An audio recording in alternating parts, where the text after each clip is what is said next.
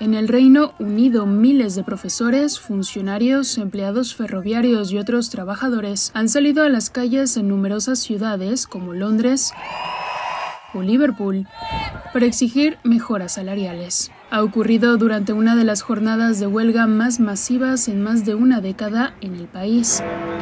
Cerca de medio millón de personas han secundado un paro que ha afectado a más de 23.000 escuelas, ha paralizado gran parte de las líneas de tren y ha llevado a en torno a 100.000 funcionarios públicos a detener su actividad. A la reivindicación de subida de sueldo en las manifestaciones de este miércoles se ha sumado la protesta por los planes del gobierno de aprobar una ley que permita fijar servicios mínimos en caso de huelgas en sectores críticos como la sanidad.